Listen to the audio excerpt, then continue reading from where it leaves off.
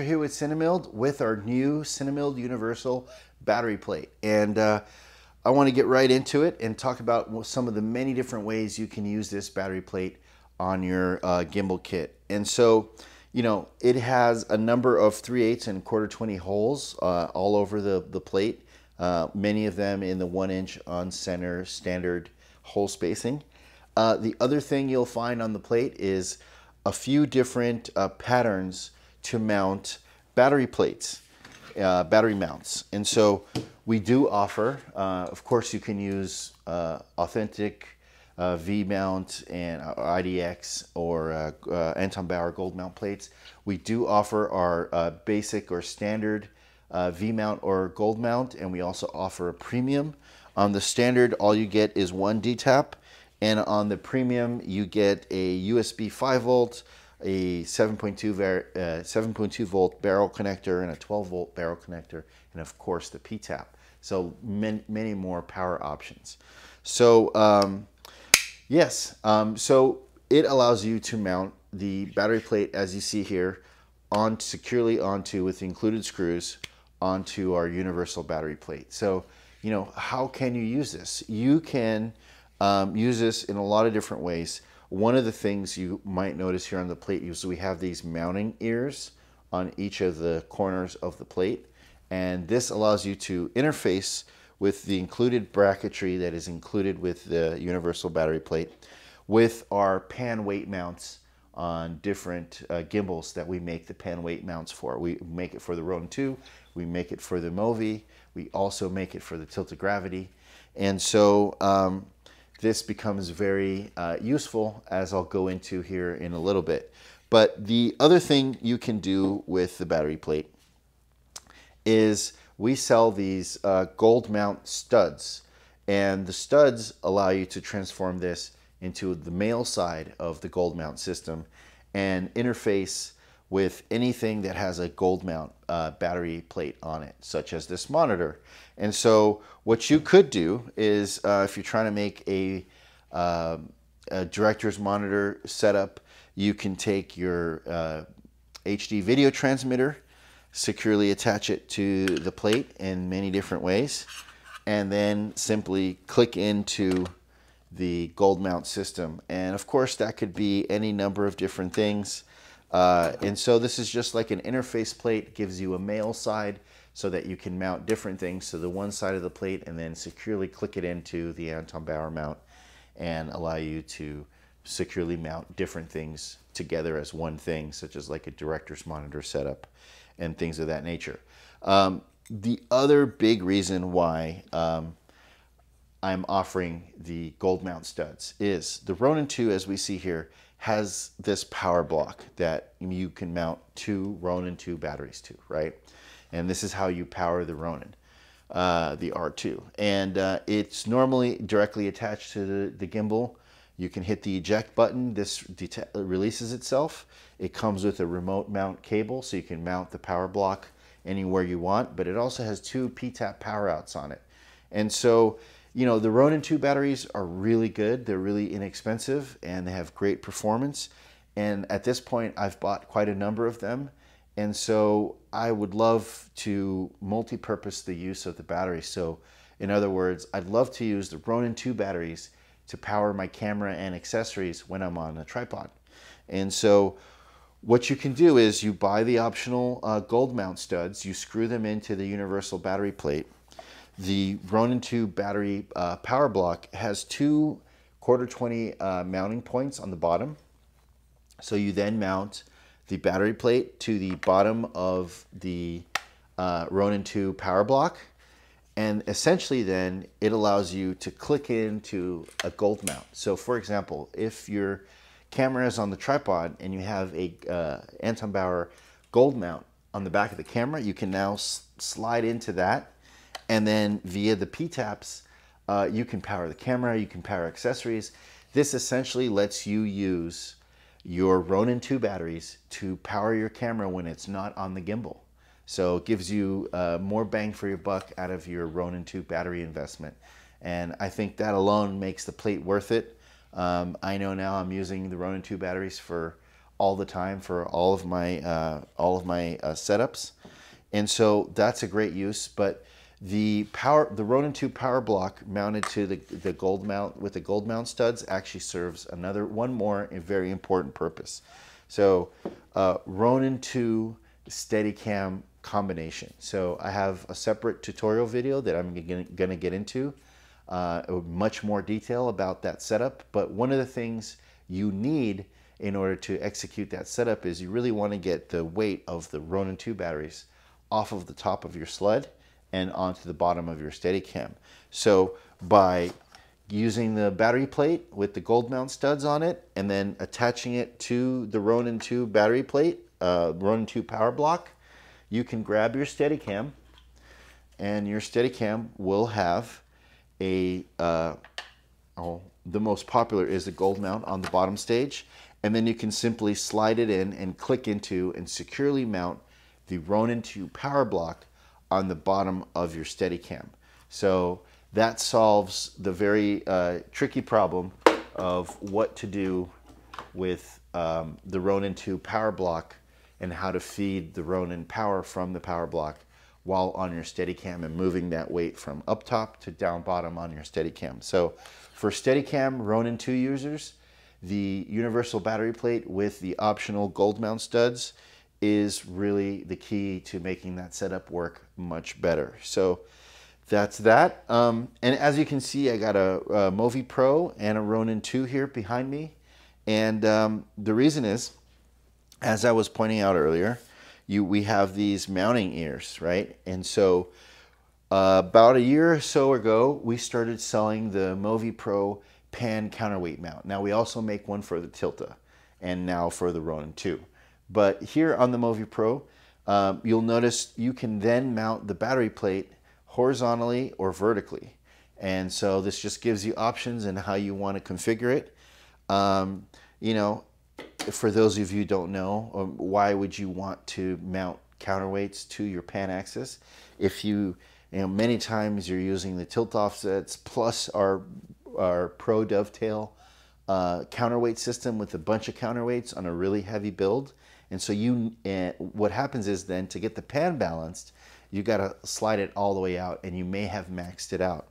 And so if you max it out, the only way to balance your pan axis, which is the most important, uh, axis to balance on your gimbal, in my opinion, um, is by using the many counterweights that we sell. Now, counterweight is kind of dead weight. It really has no use, whether uh, as, as opposed to just there to counterweight things. So the best thing to do is to counterweight actually by using a battery. Now, I have a Dionic HC here, which is not the biggest, not the smallest, but they definitely have many gold mount batteries out there that are very slim and also a lot smaller physically. So there might be good choices. But you can put that on the pan on the pan axis here using our battery plate and serve two purposes. You can put weight on the pan axis and then using the power outs on the battery plate, you can power the camera, you can power accessories. Uh, the other thing you know you can do is you can take your video transmitter and put that on one side of the battery plate and then put the battery plate on the other side with the battery um, you can not use either of those uh, either the transmitter or the battery plate and just use our universal battery uh, mount here uh, plate just as a surface for you to mount an MDR some sort of focus uh, receiver uh, audio transmitters all sorts of video converters if you're shooting on film. And so many times, as you know, we just need a surface to mount things on um, to sort of finish our build, uh, you know, so we end up bongo tying and stuff like that. This gives you a nice flat surface with many different uh, threaded holes in order for you to make secure mounting uh, points. Now the interesting thing about the Movi Pro is it's got these two down tubes on the pan bar.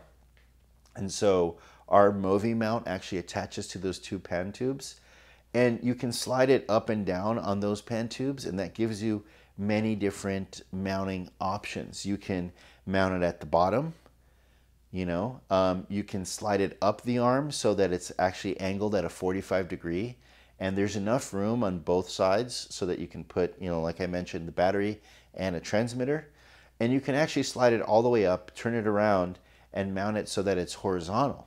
So you have lots of different mounting options for the battery plate and the accessories that you're going to put on the battery plate. Now, you know, turn the attention here now to the Ronin 2. We have here mounted to the pan arm, we have our pan weight, counterweight mount and accessory mount. And um, of course, you can just take a weight, thread it in here, and give you the weight you need to get your pan arm balanced.